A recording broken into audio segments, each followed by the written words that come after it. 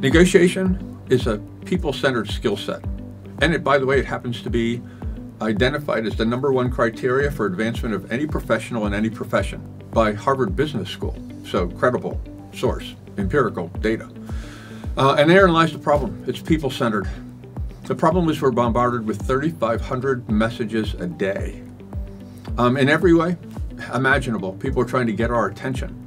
And because of that, uh, people have a tendency to put up this invisible spam filter, which makes it really difficult for us to do our job. The job is to help people make decisions for themselves that are in their best interest that without us there as the catalyst, they probably couldn't and wouldn't make.